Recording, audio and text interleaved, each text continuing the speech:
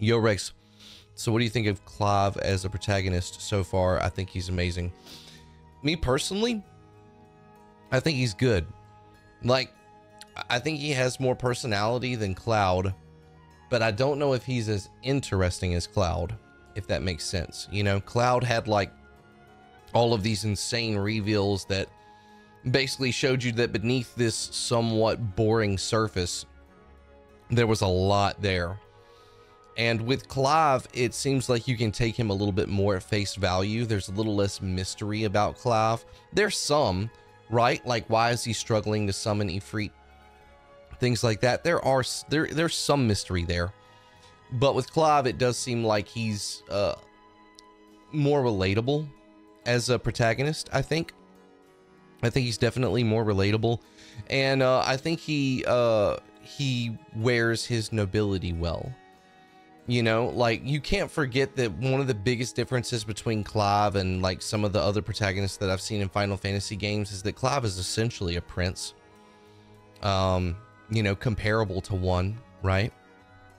And that nobility kind of shows through in his actions in the game. Like it carries in the way that he speaks, the his movement and the way that he gestures to other people and his relationship with Jill like I've heard other people say that they wish there was more to Clive's relationship with Jill, that it was more romantic or that there was more there, but so far I feel like it's been paced really well.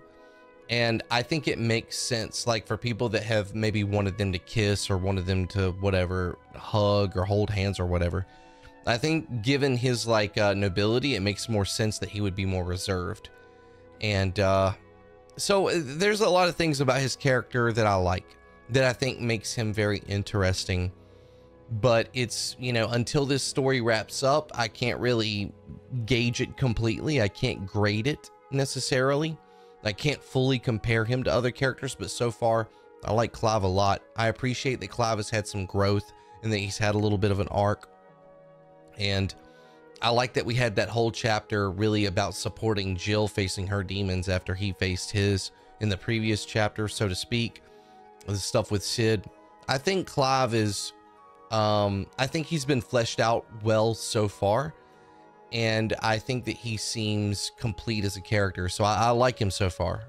When I think of like iconic things about protagonists, right? You think about like Cloud's Buster Sword, how that's so iconic with Cloud you know, I don't really see that with uh Clive, him having like an iconic sword or anything so far.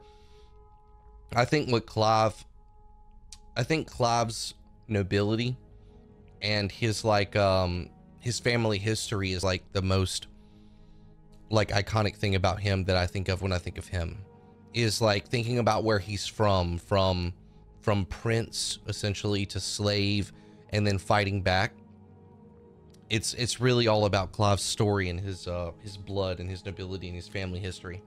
And I think it's told really well. I like it.